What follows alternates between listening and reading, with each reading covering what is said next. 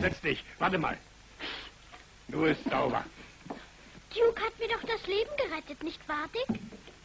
Das schon. Und ich will ja auch nicht sagen, dass er keinen Mut hatte. Aber das war ein Dreck gegen das, was ich mal gemacht habe, bei einem richtigen Feuer. Was denn, Dick? Wenn du alles auf isst, werde ich dir die Geschichte erzählen.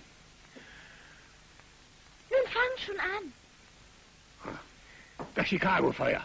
Ich sage dir, das war überhaupt erst ein Feuer. Mit Mrs. O'Learys Kuh fing die Sache an. Die schmiss die Lampe um. Da ging der Tanz los. Und ein Wind war in dieser Nacht.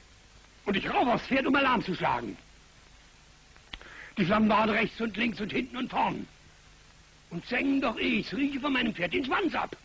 Die ganze Stadt nur ein einziges Feuermeer. Und da sehe ich 15.000 Langkornrinder rasen drauf zu.